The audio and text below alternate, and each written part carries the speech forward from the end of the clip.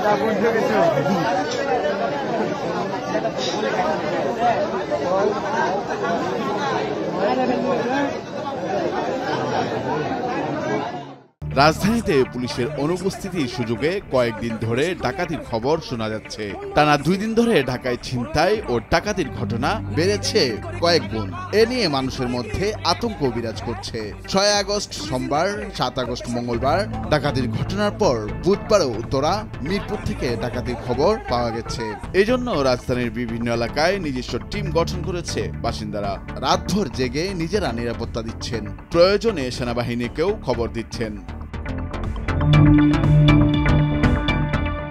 সাত আগস্ট বুধবার রাত এগারোটার পর থেকে রাজধানীর ইসিবি চত্বর মানিকদি, কালশি ও উত্তরা এলাকায় ডাকাতির সংবাদ শোনা গেছে। ডাকাতরা বয়সে তরুণ। হাতে ছুরি, চাপাতি নিয়ে তারা মানুষের বাসাবাড়িতে প্রবেশ করেছে। এদিকে রাত বারোটার পর মোহাম্মদপুর, কেরানীগঞ্জের আটিবাজার, ওয়াশপুর, আরশিনগর, বালুচর এলাকায় ডাকাতির তথ্য ও ভিডিও ছড়িয়ে পড়েছে সামাজিক যোগাযোগ মাধ্যমে। এসব এলাকায় মসজিদে মাইকিং হচ্ছে, সবাইকে সতর্ক থাকতে বলা হচ্ছে।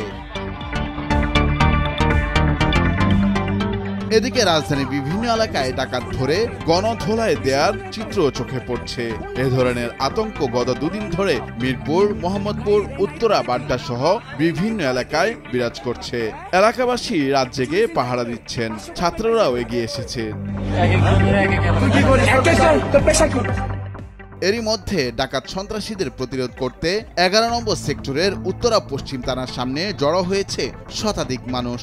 তুরাগে রানাভোলা ফুলবাড়ি এলাকার একাধিক মসজিদের মাইক থেকেও এলাকায় ডাকাত সন্ত্রাসী ঢুকে পড়েছে জানিয়ে সবাইকে সতর্ক অবস্থানে থাকার জন্য আহ্বান জানানো হয়েছিল।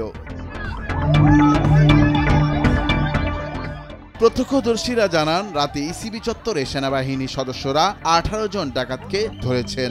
স্থানীয় লোকজন ও সেনাবাহিনী একসঙ্গে তাদের রুখে দিচ্ছেন। গত পাঁচ আগস্ট শেখ হাসিনা দেশ ছেড়ে পালানোর পর রাজধানী ঢাকার অধিকাংশ থানায় আক্রমণ করা হয়। এ সময় পুলিশ বাহিনীর সদস্যরা কর্মবিরতি ঘোষণা করেন।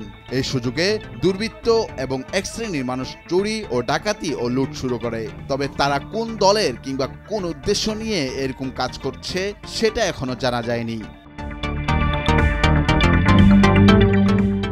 ঢাকা সহ দেশের প্রায় সব থানায় পুলিশ শূন্য। পুলিশ সদর দপ্তর, ঢাকা মহানগর পুলিশের সদর দপ্তর ও গোয়েন্দা কার্যালয়ে কোনো পুলিশ সদস্যই ছিলেন না। বিমানবন্দর সহ রাষ্ট্রীয় গুরুত্বপূর্ণ স্থাপনাগুলোতেও পুলিশের কার্যক্রম চোখে পড়েনি।